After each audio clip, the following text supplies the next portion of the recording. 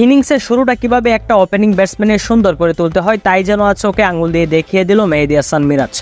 তরুণ তানজিদ তামিম কিংবা হালে নাইম শেখ কেউ যখন লিটন এবং তামিমের জায়গাটা পূরণ করতে ব্যর্থ, তখনই যেন নিজেকে ওই জায়গায় মেলে ধরলেন মেহেদি হাসান মিরাজ। এবং তার দরুন বাংলাদেশের শুরুটা হলো আজ দৃষ্টিনন্দন। মেহেদি হাসান মিরাজের সঙ্গীরা যখন আউট হয়ে মাঠ ছাড়ছে, ওই মুহূর্তে নিজের নার্ভকে ধরে রেখে লড়ে যাচ্ছেন তিনি। ইতিমধ্যে নিজের অর্ধশতক পূরণ করেছেন বাংলাদেশের এই ব্যাটসম্যান নাইম শেখ শুরুটা কিছুটা ভালো করলেও খেয়ে হারিয়ে ফেলেন মাঝপথে। মুজিবুর রহমানের বলে বোল্ড আউট হয়ে ফিরে যান সাজগড়ে। তবে মিরাজকে ওপেনিংয়ে নামানোর প্রতিদান দিয়েছেন তিনি।